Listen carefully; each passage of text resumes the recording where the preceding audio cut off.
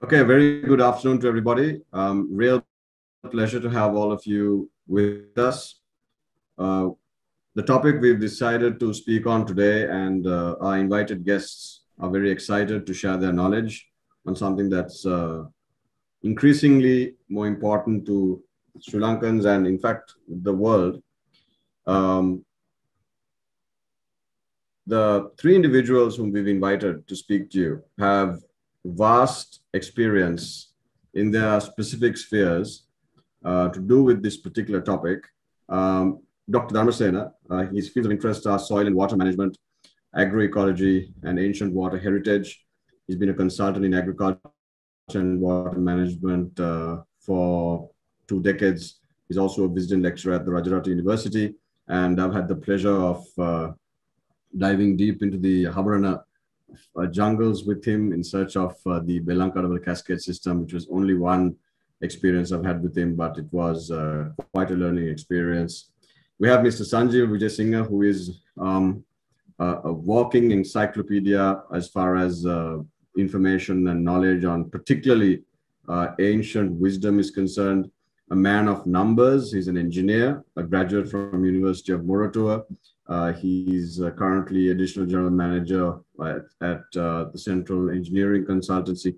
He's conducted a series of research on engineering heritage in Sri Lanka, including the Wawa and the Yoda system, etc. Uh, we have uh, Jayantha Vijayasinghe with us as well, an award-winning climate champion um, and a cons conservationist who's I've seen personally how passionate he is about conserving Sri Lanka's bountiful nature He's also the convener of Rainforest Protectors of Sri Lanka. Now, very briefly, I just want to discuss uh, and explain our topic. Leadership lessons from Sri Lanka's ancient water heritage. Leadership is something that we all speak of more often than not today, be it political leadership, leadership in the corporate world, or even leadership in academic circles. Leadership is what it's all about. And leadership, the philosophy of leadership also becomes important. Uh, I'm sure all of us have uh, read at least a book uh, about the leadership style of Genghis Khan or Alexander the Great, uh, Sun Tzu, uh, you know, in more recent times, Steve Jobs, uh, Henry Ford, and people like this. And a whole concept of leadership is, is fairly Western. And there's nothing wrong with that. That's fine. Um, but there's also um, a misconception that that model of leadership is an overall overriding uh, model of leadership that existed and has existed for centuries and for eons across the world. If you consider history as well, um, we would often hear and hear often read about the great civilizations of the world, like Egypt, uh, Greek and Roman civilization, uh, etc., the Aztecs and the Incas in South America. But you wouldn't, you would hear less about the civilization that existed right here in Sri Lanka. So what we're going to talk about today is essentially briefly that philosophy of leadership that existed in Sri Lanka and how different it was to what we probably used to um, hearing about uh, what leadership is. The incredible systems that were created as a result of that leadership philosophy, uh, the systems that helped Sri Lankans manage their water and not just build tanks, but build an entire civilization out of that system. And to help me do that, I have these three wonderful individuals. I'm going to start with uh, Dr. Dharmasena. Dr. Dharmasena, welcome. Uh, very basic question why did Sri Lankan hydraulic engineers attempt to manage water? Okay, thanks, Sean. Uh, you reminded me that uh, we were there in about two, three years ago in the forest, right? Elankadavela. And uh, you That's can right. remember, yes, yes, you can remember that uh, we have uh, uh, come across some mysterious ruins in our history, right? Yeah. Uh, one of yes. them, one of them that, that's right. Uh, one of them that I can remember uh, rock lines shaped And uh, still, I am in confusion because uh, I don't know what it meant. Uh, it's still mysterious, right? And also, I can appreciate you and uh, uh, Mr. Amarasi, and uh, you have had a good leadership to the team. So today we are going to talk about leadership, and uh, you have done it excellent, right? Uh, if I start, if I start that uh, leadership of this uh, ancient Sri Lanka, especially in relation to water, uh, they had a lot of problems, uh, challenges, uh, but uh, uh, they have done it very successful. That is why we are here to discuss about that. And one thing that the, we are talking to today about leadership, and if I share with you how the leadership has gone to a success at different levels of this. Uh, uh, can I can I share this? Uh, here you will see that uh, leadership at uh, country level. About long ago, we had uh, ten kingdoms to uh, govern the decentralized governance uh, in relation to water. Now, if you see that uh, KV the northern part is there to take care of about uh, 20 arrows. And uh, if you go ahead uh, with these small locations, uh, Kavastalaba, that is Yangwaya, most probably that is the uh, Sigiriya. Then uh, Kalaway Basin is uh, uh, managed by the kingdom here, Upulangiri, that is Dambulla. Malatuya by Rakungiri, that is uh, Ritigala. Like that, you can see that Indra, Agni, Mahagiri, Dhumakaddira, Chalaka, and Nilagiri. So that is the decentralized governance that we had, uh, especially that is based on water. That is why we wanted to talk about. And uh, when we say that uh, water resources are governed by uh, different uh, river basin leaders, that is uh, inter-river basin level, you can see that uh, one of this is Kalawaya, the other one is Mallatoya. Uh, one giant canal is there to share water between uh, uh, or uh, later on Kalawaya and Mallatoya. At the same time, you can see that Kanadaravaya and Mallatoya, there's one another giant canal. Still, you can see the remnants of this. And this is uh, the basin level uh, leaders shared their uh, grievances in relation to water. And you see the master plan that we had, not only at country level, even at basin level. If you go to the, go down, further down, you can see that uh, from reservoir to reservoir, uh, you know that there, there were some reservoir leaders. Uh, we can get some stories like uh, by one reserve leader, uh, Kadavara, yes, and also Urusitano, that is in the southern part, Urusitano. So they are the reserve leaders. So from reserve, one reserve to the other, they have shared uh, water so that uh, uh, they had some kind of relationship between these two. And also, uh, there are some uh, uh, leaders, especially tank cascade system. I should say that uh, they don't have any single word for tank cascade system at that time because uh, uh, tank cascade is a cluster of tanks which belong to the village. So uh, there are Rala leaders, Rala leaders. So uh, Gamarala, that is the village leader, Kapurala, that is to uh, provide uh, organize uh, rituals for the village. Then Danumatirala, that is the knowledgeable person in the village. Then Vedarala, that is uh, medical practitioner. Then Nakatrala, who is providing all these auspicious times for agriculture and other uh, activities. Then there are some places where you get uh, another Rala called Sivrala. That means Sivru Hala. He has come from temple after having some uh, periods as a monk. Then uh, he reverted uh, back to village. But he is a religious, knowledgeable uh, man. So this, this uh, uh, collective leadership is there in at the village level. And you can see that I will, if you permit me some more time, I can say that self-governing system in these villages. There are 10 commandments. One is uh, for regulations for water security during drought, drought, sorry, drought. Then uh, that is called Diyapattayam Tahanchiya.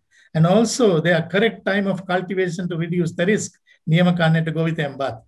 And also use of environment without destroying it. You see the value of uh, their philosophy that to protect the environment.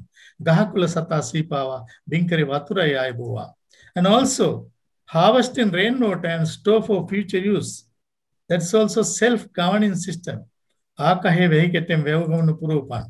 And also make your mind free to attend religious events through raising five types of babies. Hite dumping.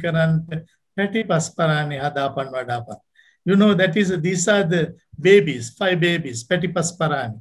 Child, calf, kitten, pup, and chick. So anybody can uh, concentrate their minds without any problems. If they have any problems, they will uh, those will disappear by watching what these small babies are doing. So this is what they say about uh, self-governing system. So the commandments are there, they will obey them and they will do whatever that they need. But uh, the leadership is there and also the self-governance system is also there. This is the difference between Western leadership and our leadership. There are freedom for people to obey some kind of commandments. This is work as a team. Ekatupadanavi Harihaman Vadakpakaram. Then uh, store excess grains for future use. That is the security. They, they say. Then uh, what is impossible if everything is with you? That means uh, they are not really depending on others from outside like what we are doing today. Say they say Then uh, they have to gain their knowledge, preserve their knowledge, and uh, protect the knowledge for another generation in future. Kempahan Danagan, Sanuhari. Finally, they want to see that they want to preserve their cultural arts that is, they say that Kavisindurag and Hitarakawaddaban. Those are the things that uh, uh, uh, the real uh, rhythm of this uh, rural life in the, in the past. And also, uh, what I want to tell you that this is something different from Western leadership, but this leadership is self-governed at village level, and some leadership is there at country level, river basin level, and reserve level so that uh, uh, this is the kind of leadership. Okay, thanks. Thank you. Thank you, Dr. Dharmasena. That was uh, amazing. Um, the kind of wisdom and knowledge that uh, this nation is replete of and considers part of its history um, is only just being discovered by people like you and uh, future generations and today's generation, in fact, would be, I think, um, would benefit greatly by this information that you're sharing. Um, Sanjeev, I'm going to move on to you now. Um, you're a man of numbers. Okay, you're a man whose uh, profession is based on uh, mathematics, exacts, and specifics. Uh, but you also believe in a very ancient wisdom that existed and exists in Sri Lanka. That was the basis and the philosophy um, that created these incredible systems. Now, we need to understand and remember that this system doesn't exist anywhere else in the world. We have river civilizations, but the Vava civilization, I'm not sure exists anywhere in the way it exists here. What was the philosophy that led to the creation of these um, systems of soil conservation more than just uh, you know storage tanks. Yeah, uh, thank you very much, uh, Shevan, uh, for giving me this opportunity. And also, we had a very successful discussion three, four months ago. Uh, I consider this yeah. is, uh, as as a as an as a continue of the same. Uh, so right. I want to share my screen, and with that, uh, I will explain what is our philosophy. philosophy. So, uh, Shivan, can you see the slides? Yep, we can see it. Yeah, Continue. okay. So, uh, uh, while thanking everybody, uh, first uh, we must uh, understand that the, where we live on, actually, we, we live on Earth. The Earth system is, we must understand that this is a, this is a closed system for, for matter, especially material wise, we, we are not getting anything from the outside the only external influence is solar radiation. It is gained from the sun and also back radiation from the uh, Earth atmosphere. Therefore, uh, the sustainable, so we are, we are very much talking about the sustainability today, and therefore the system. So any system to sustainable, these parameters, these basic parameters, water, uh, soil and atmosphere has to be maintained within suitable limits. Uh, so our activities uh, with involved in uh, materials always has to be cyclic. Accordingly, we can avoid this, this disorder situation in the uh, environment. So uh, if you look at these graphs, you can understand how our process go out of cyclic nature. If that parameters, if that uh, basic parameters, water uh, and uh, uh our uh, other, other parameters will change drastically, then it will be a problem to the whole living being. You can see what was happened with the onset of industrial revolution. You can see that global average temperature also increases and the surface temperature also increases. All environment parameters have got uh, changed drastically. And uh, if you take this environment uh, pollution, what is this environment pollution? We are talking about a lot of things in the environment pollution. I'm explaining to come to your uh, topic actually, uh, to your yep. question. Yeah. So uh, this earth system, earth matter, that is material, now has uh, is converting to waste material and also energy is also converting uh, waste energy. So accumulation of all these waste we call environment pollution. Then the uh, then the, this concept of sustainability arises from the uh, it is also came from the west as well and they are also trying to uh, define the sustainability but their problem is basically they are trying to keep their development structure. They are trying to uh, come to a sustainable, stable, sustainable development state. But this is uh, actually this is a this is not this this is unachievable thing. I will I will explain you. Uh, so uh, to overcome all these things, they are talking about renewable energy, carbon footprint, hybrid technology, lot of things. They, they, they, they, came, they came out with lot of solutions. But uh, the, all solution is addressing only the very narrow part of this sustainable problem. Uh, as an example, if you take hybrid technology, uh, if you uh, use some car with, with a battery, with, with a battery power, yes, uh, so it, it, it reduces air pollution. But at the end of a day, at the end of the lifetime of the battery, you will have to dump it. Where you are going to dump it? Dump it? Definitely, you, you will have to dump it into the soil, onto the soil. Then this will cause to soil pollution. Then it's not something like air pollution. Soil pollution is more dangerous thing because of we can't convert it to the again to the original state. You can uh, convert air pollution to, uh, to the original state to some extent with the plants and other things, but you can't convert the uh, polluted soil to the original state. And uh, carbon footprint also same. This also cater the very narrow part of this problem. And uh, sorry. And the uh, this high quality, uh, so so any any system to sustainable, I said that uh, the, the system should be cyclic. So accordingly, this high quality energy from the sun could be absorbed by the system and the low quality energy could be emitted to the outer space.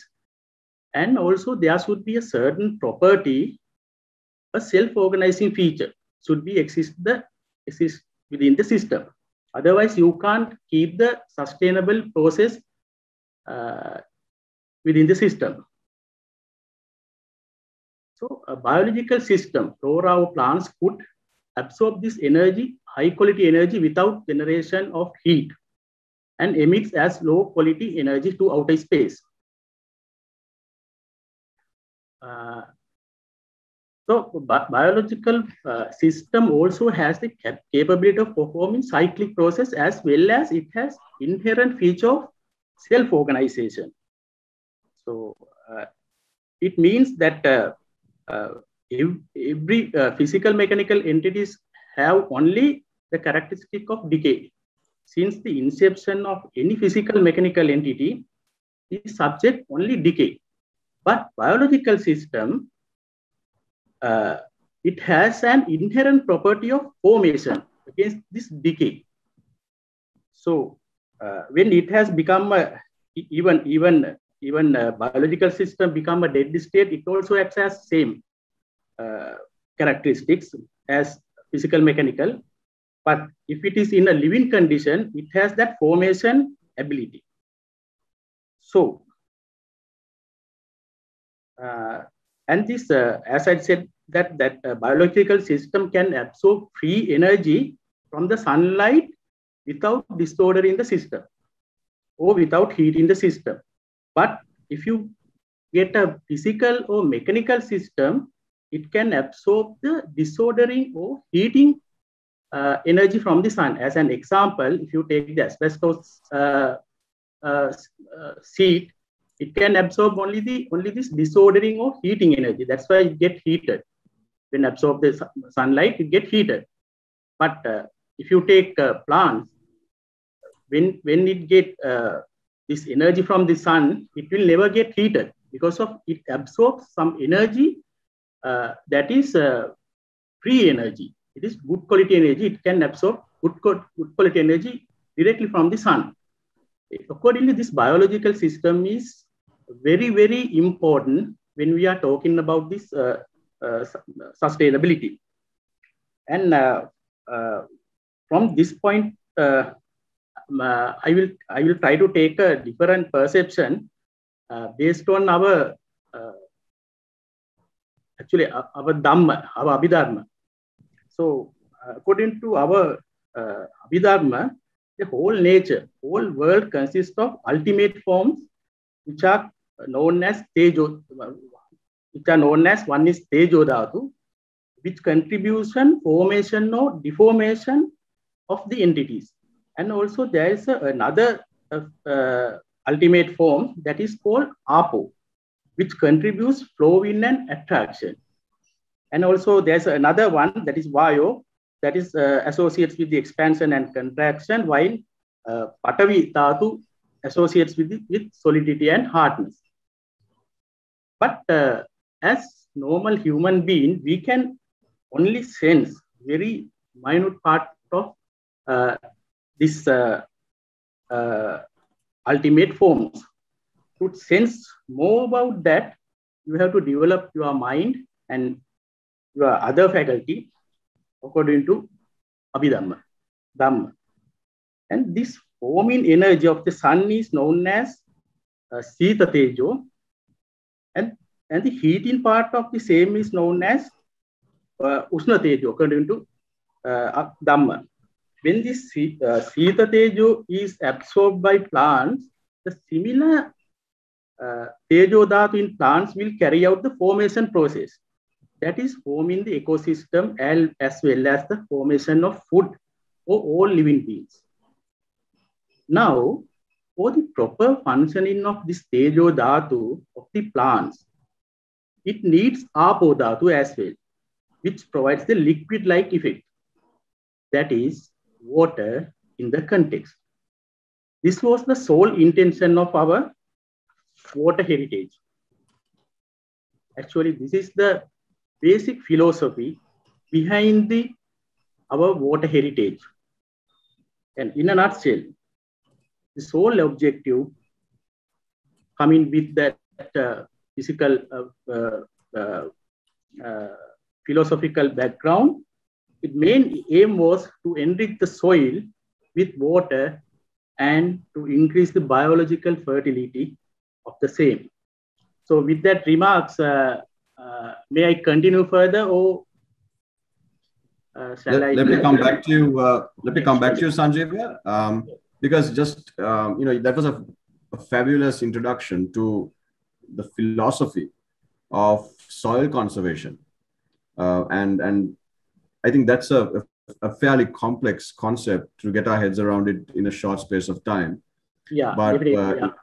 it's important that uh, our, our audience understands that what we're talking about here is not simply collecting water and then distributing it to for agricultural purposes but something much deeper than that, um, something that involved uh, nature as a as a holistic process that needed to be nourished and protected in order for a final uh, result. Now we have a young Jayanta with us, uh, a man who's uh, grappling with the problems of this system tearing down.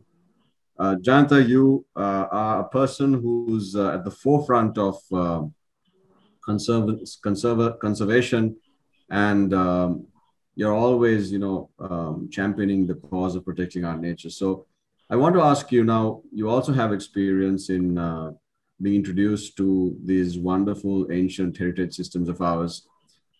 What do you see as um, how do you see the breaking down of this system in modern times in Sri Lanka with the systems uh, and the nature that you're constantly uh, coming face to face with?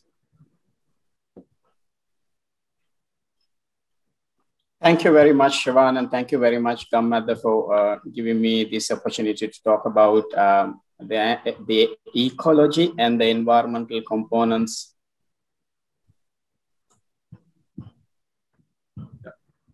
I hope you can hear me. Um, uh, first of all, I'm so sorry. Uh, my uh, internet connection is very weak. And uh, am I, can I uh, be permitted to uh, switch off my video and talk? Because I think that way you will hear me better. Otherwise, you will not hear me or you won't see me both. Please go ahead. That's fine. Thank you very much. So um, uh, I apologize once again uh, for this uh, connection issue that I have, uh, something that I didn't expect. Uh, but having said that, um, once again, thank you very much for um, News First Gammadda. Uh, and talking about water leadership and the current modern day status, in fact, I have a little presentation. I, will not, I will not run the whole presentation, but if I may be permitted to share this presentation. Um, yeah, please go ahead, Jayanta. Okay, I hope you all can see this. Uh, yes, we can see it. Right. Okay, now um,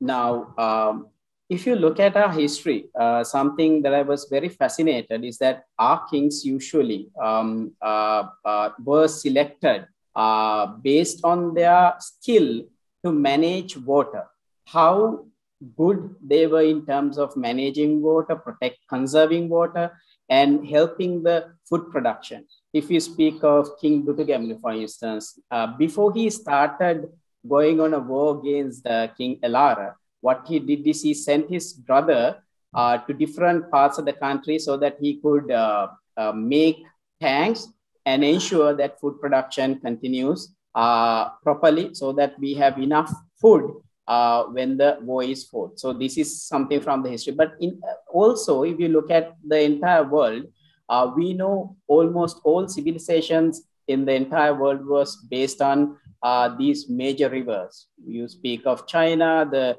Hindu um, uh, uh, civilization, and if you look at Euphrates, Tigris, Egypt, and all these places, all these were mainly uh, based on the major rivers. Now, that is, uh, if you look at some of the conflicts that we have seen over the over the history, uh, and uh, even the most some of the most recent recent conflicts based on water are very um, long ongoing battles and, and conflicts between countries uh, for water. Similarly, it's pretty much the same in Sri Lanka. If you look at uh, uh, Kelani River, uh, uh, pretty much provides water for more than 2 million people. Uh, so similarly, we have uh, Mahaweli River where we have most of our agriculture happening.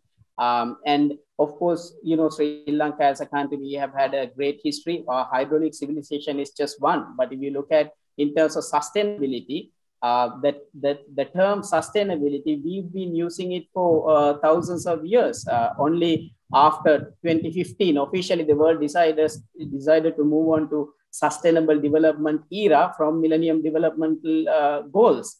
Uh, so there were a lot of things that we could obviously, as some say, boast about. But uh, the problem is that are we really have taken the lessons to the next level in terms of how we manage things today? Now, um, uh, when it comes to uh, the historical lessons that we've learned in terms of uh, leadership, we've had more than 30,000 tanks that were built by various kings. And the first one was built 300 years ago, 300 years before Christ. So this is, we have a massive history uh, where we have been very successful in terms of our food security, our water security, and ecological balance, and all of these. So now we have a question today uh, who is the greatest king? Uh, for many people, uh, they see King Parakramabahu is, is the greatest king. And for some people, some argue that King Dutugemunu is uh, uh, the greatest king in the history. Obviously, there are other people who think otherwise, and we might have, we might have different kings. Uh, in the case of uh, uh, the you know the times of uh, where uh, uh, Buddhism that arrived in the country is, is another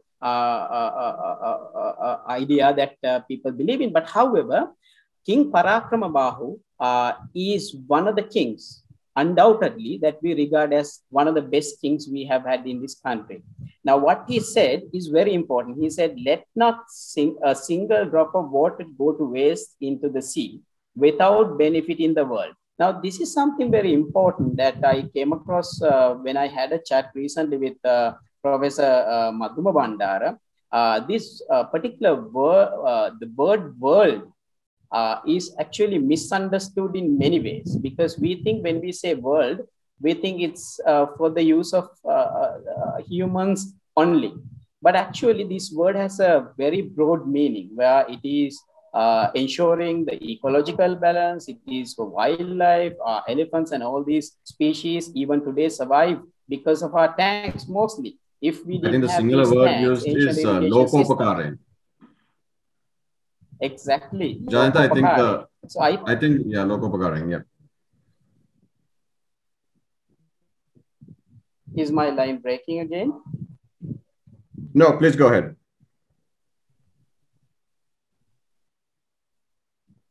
Right. Thank you very much. And, you can go ahead. The, the key issue we have to identify when we speak of today's context is that all these water that we have collected in the uh, low-lying areas are the water that generated from the central hills, if not our hills. So, but unfortunately today, it seems that we have not really looked at uh, the importance of uh, the catchment areas and we are going and building reservoirs in the central hills. So that is something where we have to uh, really focus on because um, I find that most of our kings and the current uh, politicians think that in their times that they need to build the biggest reservoir of all. Now, if we continue to do this, if we go on this route and and think uh, that you know building the largest reservoir would uh, you know make your name popular as a ruler or a king or any other um, uh, uh, uh, for that matter, I think that is a big mistake. and why I would say is, say so is that if you look at the history, we have particularly looked at the drought prone areas to build these reservoirs. Now, in the case of uh, uh, in the case of uh, North Central, uh, are the key areas that we picked to build these reservoirs and tank cascade systems because this area needed more water to change its uh, climate, change its um, uh, uh, weather uh, microclimate, to change uh, agricultural lands, to make dry lands wetlands, and to feed uh, wildlife and to grow forests and things like that. So I think we need to look at how history has happened and today, whether we are doing the right thing today. So learning lessons from the history, the leaders from the past and applying it to the uh, applying it to today's context smartly is very important which i don't see is happening. And uh, i will move on to my last bit.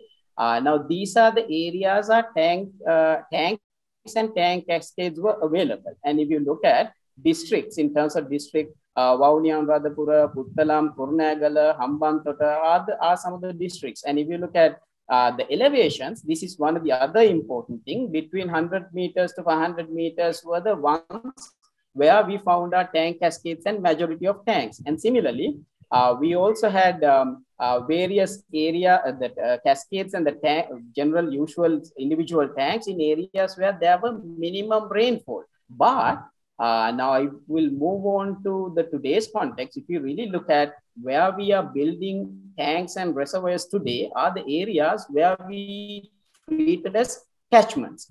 And therefore, I think we are moving uh, in the wrong direction in terms of water management. And that water management is absolutely not uh, the smart water management. And that leadership is eventually has resulted in prolonged droughts, uh, lack of water, and then we have to now provide water to our uh, uh, national parks, and then we have uh, severe floods because we have built up dams in wrong places, and then we have severe pollution in terms of our canals and our waterways, and then you know this is one of the projects that we have done uh, very badly i would say. This project was initiated to provide water to hambantota apparently now it can't apparently provide enough water. Now we are going to build Gingnilwala, and this is what happened when the Umawe was built, and this is what the people faced at that time. And this is how the uh, wells were dried and the dry, uh, dry land cultivation, if not um,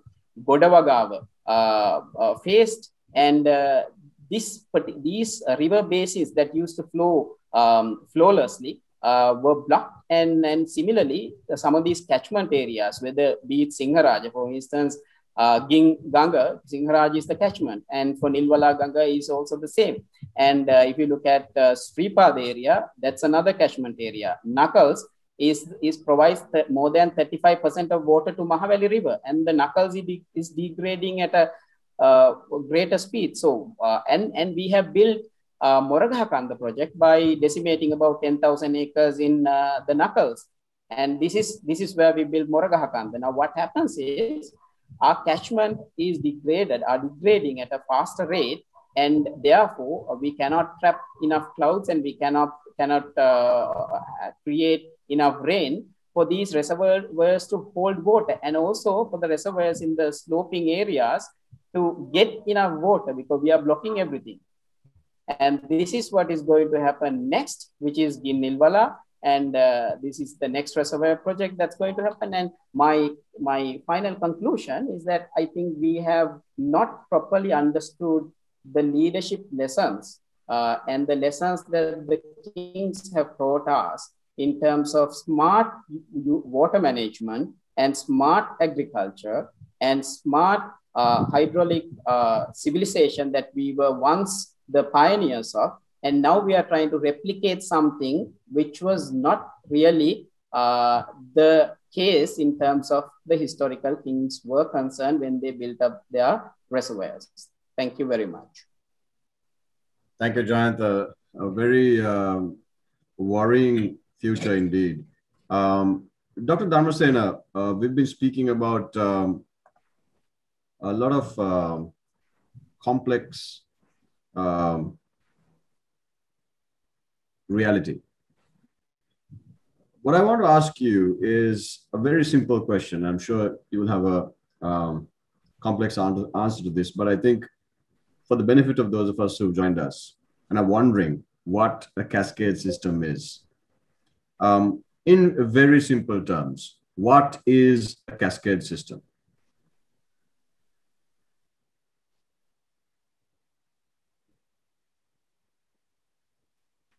Okay, thank you, Isha. Dr. Dharmasena, uh, can you hear me? Yes, yes, I can hear you now. Right. Uh, you wanted to ask from me about the cascade systems, right? Okay, just I yes. want to tell you that that is uh, something we have. Uh, one of these, uh, can I share here? Yes.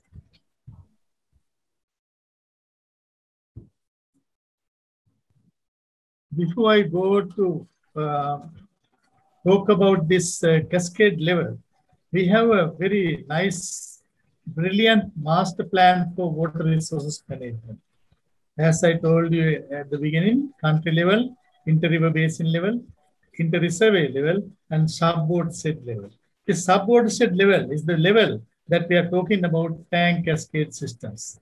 Now, uh, right, uh, uh, this is the landscape that we have in Sri Lanka, especially in the dry zone. Uh, we have uh, different uh, landscapes. Uh, if you look at uh, Mannar side, we have a flat land. and also, if you look at uh, side, we have a flat land. But when you come across, make a straight line from Mannar to Hambantota, you will pass a lot of undulating landscapes where you get a lot of tanks. So this undulation allowed us to form tank clusters. We call tank cascade systems. I just want to spell it again that uh, these tanks are in tank cascades and people are searching for different names for this sun in Sinhala, but uh, I am sure that this is the village where we can have all these uh, tank systems. And the villages are enjoying all these, not for irrigation always. Please remember that because uh, there are different types of tanks. One is uh, the wild tanks, tanks in the jungle, we call kulu Kulu means wild, right? So those are not for irrigation.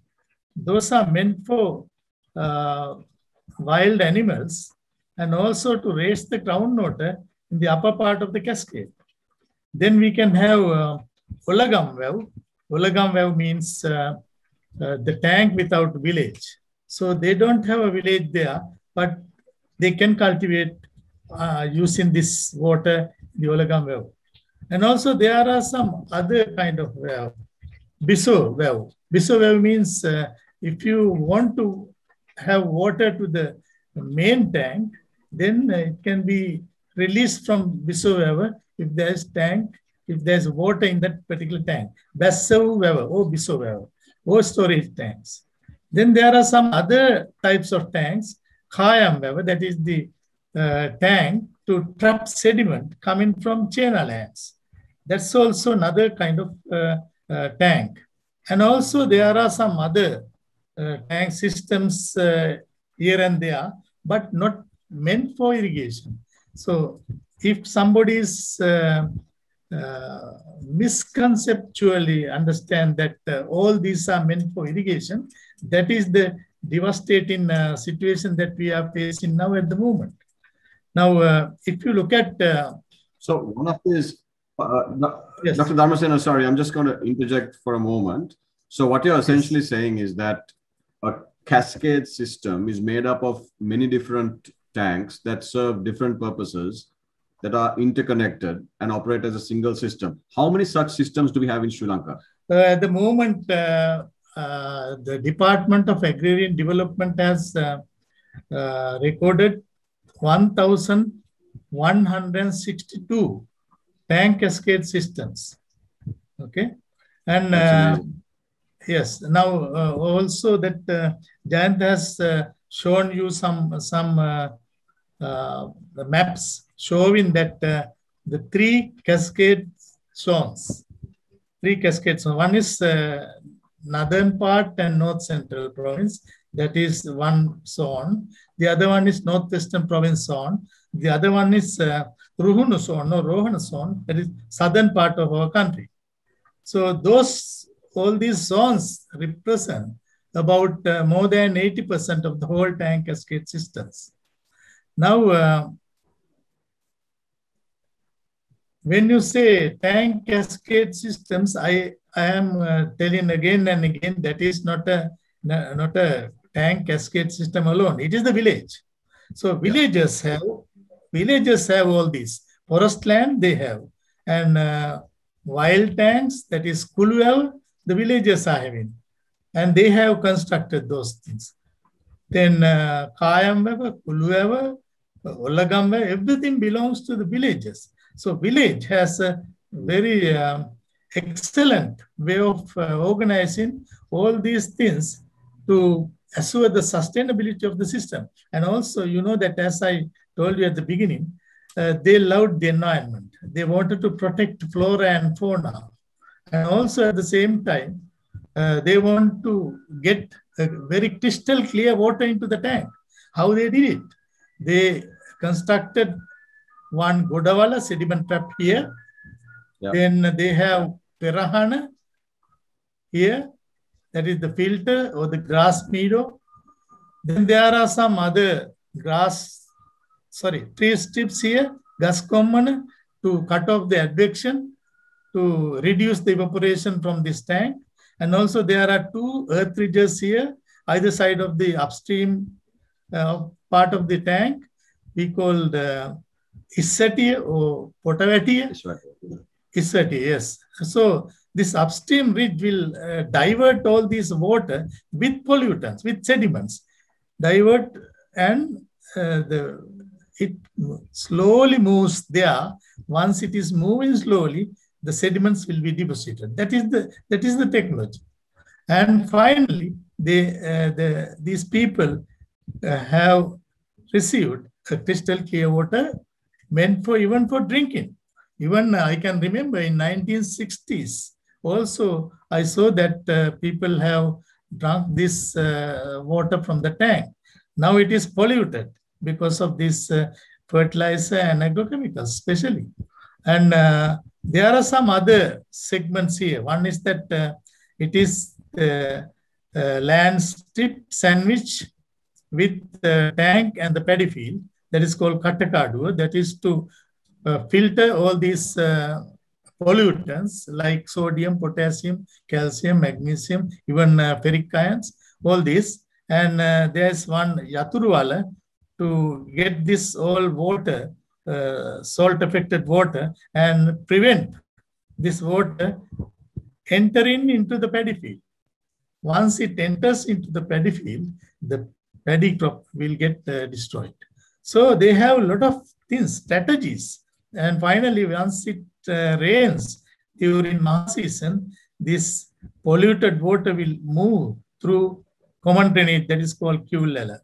And uh, all these segments of land uses have specific purposes. For example, here, Gangoda or Gammadda and it is surrounded by a strip of land that is called Tispabe. And uh, there's another kind of land here, Lande. All these are meant for specific purposes. For example, here, uh, Tispabe is the place where you get all these uh, solid waste. And uh, they have used this one for sanitary purposes. Uh, female and kids are here, and the male farmers they will go here for sanitary purposes. The, the beauty is that all these are decomposed and finally contributing to the enhancement of fertility in this paddy field. So you see the recycling process here. I mean, it is uh, automated kind of device, right? So everything is there, but the problem is unfortunately now we can't see all these uh, segments there to take care of uh, water at the same time take care of the soil fertility. That is the problem. Brilliant Okay, engineering indeed. Uh, You thank you, Dr. Namasena. Um, I'm going to move on to uh, Sanjeeva. Um, actually, uh, it's a, it was a question I was going to uh, ask you. Uh, as an engineer, you have researched and seen for yourself the incredible components of a Weber. Um, can you describe the uh, creation, the innovation, and uh, the specifications of these components. You know, we, we hear a lot about the Bisokotua, the Sorowa, uh, and some of the other components that uh, Dr. Dharmasen was referring to. But uh, I'd like you to give us an engineering perspective on uh, these innovations uh, from thousands of years ago. Yes. Uh, okay, let me first share the screen. Yes, uh, this is uh, one of uh, Bisoko to a sorrow at uh, Urusita Weber. So, with the invention of uh, Bisoko by our ancestors, it was able to regulate the water discharge from uh, to, uh, to the canals. Because of uh, normally this kind of uh, it has a large head. Uh, if we are unable to uh, maintain and regulate uh, this water stem, uh, it will damage to the dam. So uh, to overcome uh, this uh, damage and the pressure, uh, the, our ancestors were able to uh, create this marvelous structure. So these are some Bisokotua sources. And uh, there are also some misconception of the Bisokotua as a valve pit, especially uh, our colonial, in, during the colonial period, uh, people like Brohier and Parker, they have done a lot of investigations about our system and they came out with uh, marvelous uh, notes on our irrigation systems. But uh, at the same time, uh, they identify this Bisokotua as a valve pit because of uh, their mindset is when there is a tank, they identify this uh, as a tank, and always they think that a tank should have a, a controlling body or a gate. With that background, they identify this Bisokoto as a valve pit. And uh, considering Bisokoto is the place for fixing the gates. And uh, but the thing is, uh, in contrast, there are no evidence. Even today also, no any artifacts has found of such gates. No sign was found over its smooth inner surface uh, to trace any fixing mechanism of a such gate. Uh, so protecting the dam, reducing the pressure of water and flow rate of water is a basic uh, principle of this Bisokotua. And due to viscous and turbulent effects of the water flow into the Bisokotua, pressure and velocity of water from high head uh, was reduced. So it and it depends on the volume of the Bisokotua. That is why this Bisokotua has a large volume. So when when the water comes to this uh, large volume Bisokotua, it suddenly expands and it uh, touches with the water and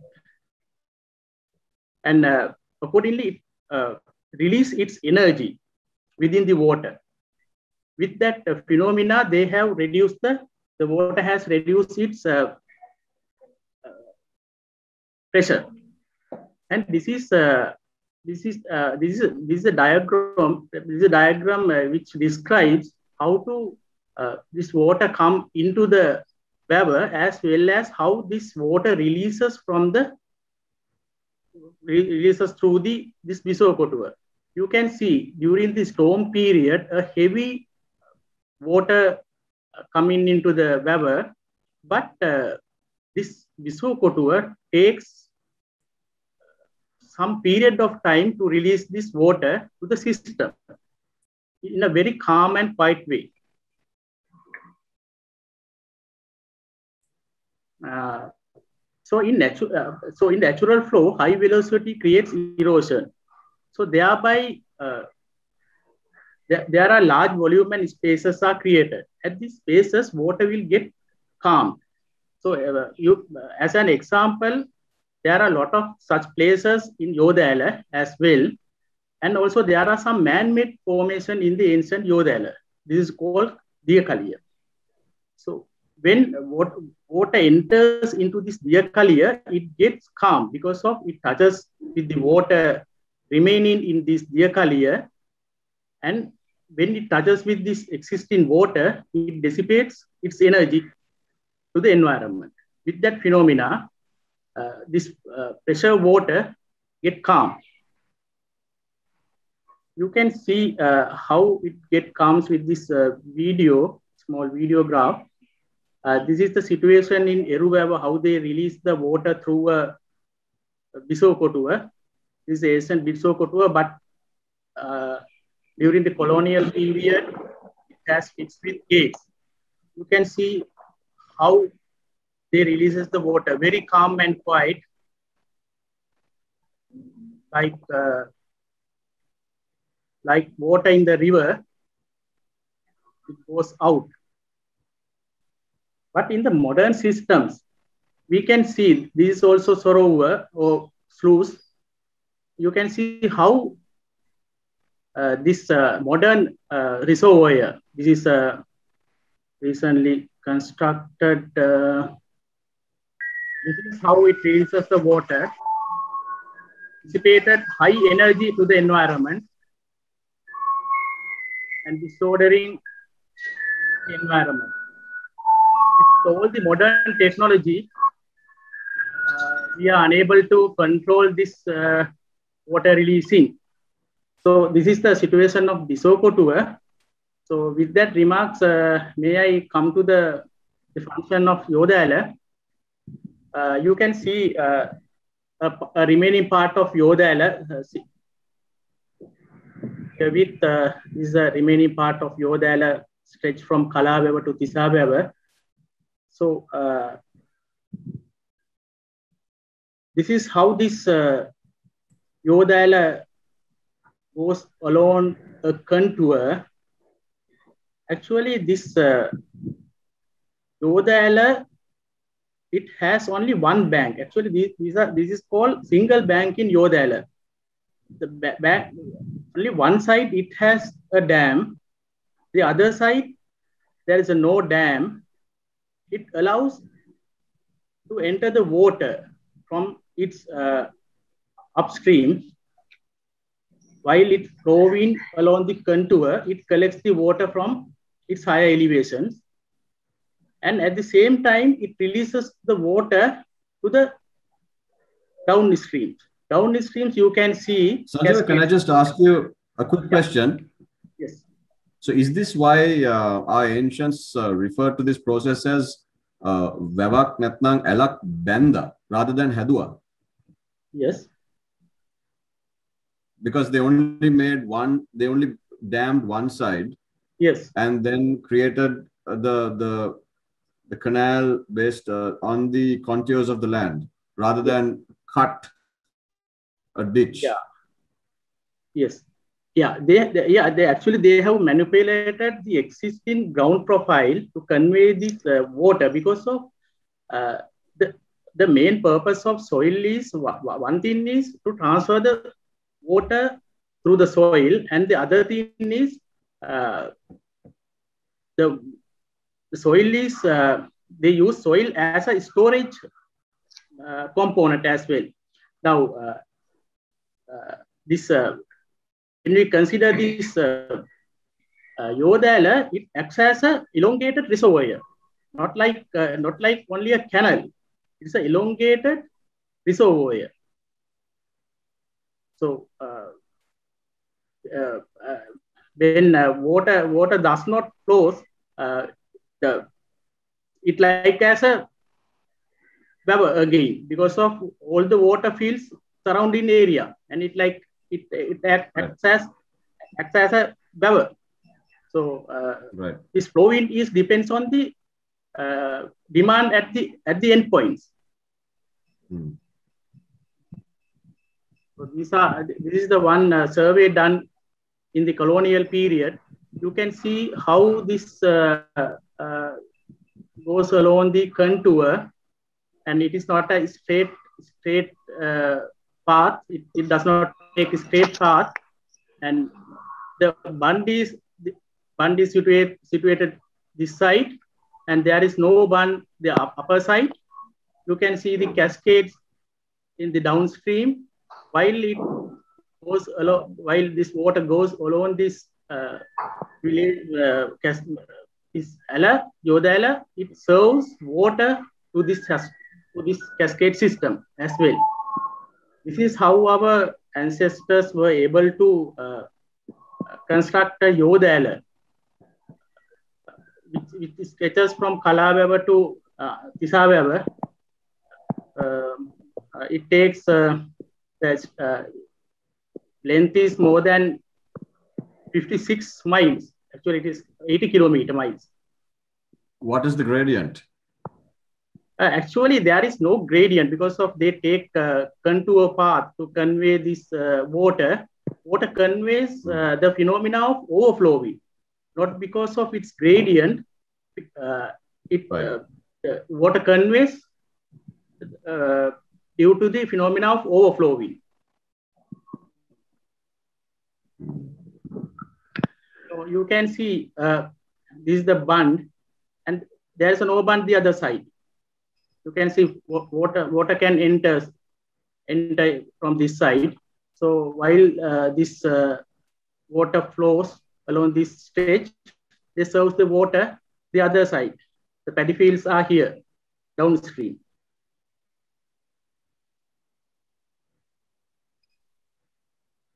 And uh, the thing is now uh, uh, during the Mahaweli period, this uh, Yodala has converted to slope canal. So you can now you can see only the ancient Yodala up to Ma- up to Maha Illuppallama. After that, uh, you can't see this original Yodala because of now it now it has converted to the slope canal, and also they have uh, introduced another dam uh, to the other side as well after the after the Mahailupallam. And accordingly, this has become a defined wall slope canal. Now it can't serve the downstream uh, cascade system as it was done earlier because of these uh, changes. And also, uh, very recently, you uh, if you can remember that uh, last uh, Sunday papers, it was published that that Eppawala people who protested because of now their areas are inundated with the water because of these changes. Earlier, this uh, uh, during the storm period, this Ala can get water from the water collects collects water from the upstream. Now, after after they define the bunds and after they construct another bund on the other side, uh, this collection of water is difficult uh, into this canal. Because of that, uh, that uh, that Maha, that Eppawala area got flooded, and they protected. Uh, now, uh, why why why this has changed? Now now only they can realize what what, was the real value of this kind of uh, alert. And also the other thing is that this. I can't understand why uh, this this knowledge base uh, have they uh, this knowledge base has preserved as a museum piece. It's not a museum piece actually. We, should be able to uh, adopt this system even in today also when we construct uh, other irrigations projects. We can we can adopt this system even today also. So without doing that, we are trying to keep this as our only our as uh, only in the museums or in our heritage galleries uh, it is meaningless actually. So we, we our present uh, engineers and technocraft all should have that uh, ability uh, to make use of these ancient systems because of this is the most uh, uh, sustainable and eco-friendly system. It will provide a lot of solution to the present crisis as well. Yes, sir. Thank you, Sanjeeva. That was uh, incredible information and knowledge. Um, Jayanta, I wish that we had uh, all the time in the world, but I'm going to have to come to you very briefly uh, to, to hear your thoughts as a young person, a young Sri Lankan involved in conservation. Uh, what are the emotions and uh, the feelings that run through your mind when uh, you see some of the stuff that's going on today, like um, this mismanagement of our ancient uh? Uh, it's very important here that all of us uh, start calling it a wewa because it's not a tank, as we've heard everybody speak today. I think uh, we should all perhaps get together and write to uh, Oxford and Cambridge and ask them to uh, include the word wewa into the English uh, dictionary because it truly is a very special word with a special definition. the word tank doesn't even begin to explain what a wewa is, as we've learned today. But as a young a conservationist, what are emotions when you see um, some of the stuff, uh, some of the damage done to our ecosystems, particularly the wewa, um, you know, in your work as a as an environmentalist?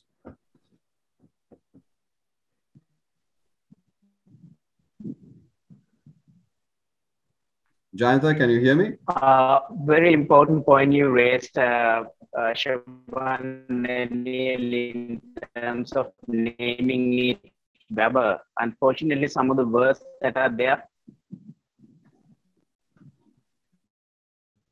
Yes, I can hear you. How about you? Can you hear me? Uh, Jayanta, you're a little unclear. Um, I think your bandwidth is pretty low right now. Um, can you try again? Can you hear me, Shawan? Uh, it's a little better. Can you just keep uh, sharing your thoughts? Uh, is it still the same? Yeah, right. much. Okay. Um, uh, thank you, um, Shivan. Actually, a very valid point you raised about the tank, uh, or if not wewa. Um, in, in, yes. Now, uh, when it comes, have uh, forgot um, some of these herbs. Probably the uh, colonials implanted uh, in us uh, in our vocabulary, so that it's easy for them to uh, you know basically manage some of our resources. So we actually, if you really look at all these herbs and the plants that we have, there is no weeds in Sri Lanka per se. What we have are pretty much all herbs. So um, coming back to the question you raised, what do we see um, looking at some of the destruction some of these um, uh, ecosystems including heartbreaking? Uh, i have seen um, thousands of millions spent on some of these tank restorations over the last decade. Uh, these are not rupees these are us uh, dollar. Thousands of millions of us dollars spent on tank restoration projects.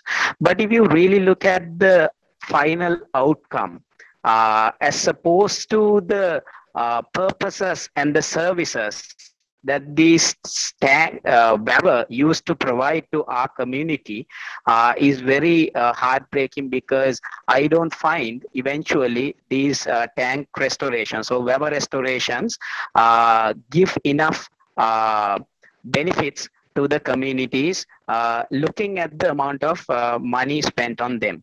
Uh, for instance, uh, some of these uh, wewa restorations or tank restorations, uh, we always find that the indigenous knowledge is disregarded. I will take two examples. One is that we saw some of these, uh, I have to name here, but uh, uh I'm, I'm, sure that nobody will, um, uh, you know, get offended. I have uh, studied some of the World Bank projects uh, when it comes to tank restorations, and we have had situations that we have, we had to um, argue and we had to, you know, basically have discussions to see if and what they're saying are true in terms of having green belts on the river or rather uh, tank um, uh, uh, uh, uh tank close to tanks and there are canals um, so the argument of some of the irrigation engineers part with the irrigation engineers, not every one of them. Some of the uh, specialists say that having kumbuk and some of the other types of trees uh, inside the tank close to the uh, will absolutely have no harm. Uh, but some experts argue that uh, that you cannot have any tree um, in the uh, in the tank, uh, especially uh, in the tank bund area. but some some projects have actually removed completely uh, all the uh, green cover the trees that we have had on tanks. So uh, this is one uh, area that we actually uh, uh, try to understand. It's confusing in a way.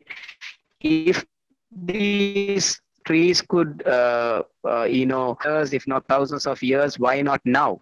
Number two, when we look at some of these tank restorations, how they are being done and even the small canals, everything is being concreted. Now, when you con- concrete everything, now, right now, the Minipe Canal is being concreted. I'm pretty sure that is done with uh, the purpose of uh, preserving more water. But what about then uh, the ecosystem services provided through these canal banks and then to the soil and the groundwater? And there are plenty of other services that's been done. So I think our indi- indigenous knowledge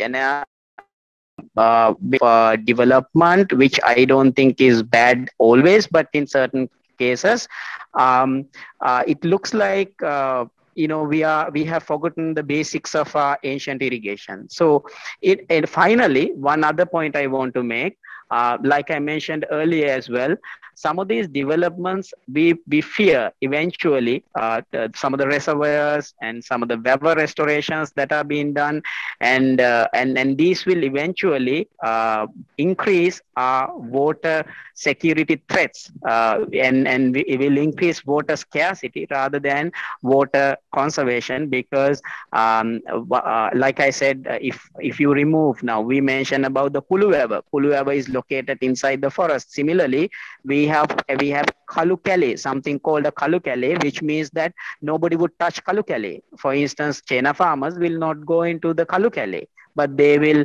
slash and burn uh, somewhere which is mostly shrub if not uh, not not a kalukale with uh, um, massive tree cover so i think uh, uh, when we when we develop reservoirs or when we implement irrigation projects when we uh, develop you know any kind of uh, restoration uh, plan, I think we need to go back into drawing book, book uh, books and uh, have a look at how we have done it in the past and see how, what is more sustainable, not destroy the very systems that eventually provides us water. And I and I think finally, uh, water leadership, if not the proper leadership, means not creating probably hundreds of tanks or if not restoring some 500 or 1000 tanks.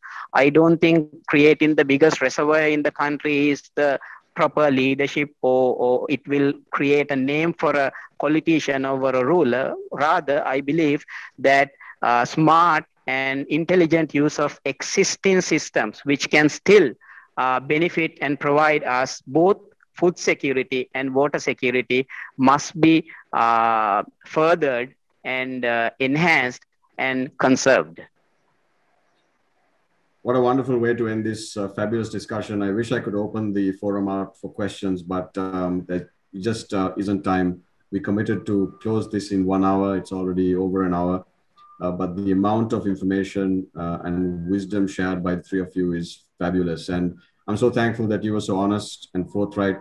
Um, that famed scholar Joseph Needham uh, in the 1970s, I think it was, he recognized Sri Lanka's uh, ancient hydraulic heritage as the most preeminent technology in the world. He said the Chinese uh, civilization was ahead in almost every aspect except hydraulic heritage of Sri Lankans. So we have a lot to be proud of.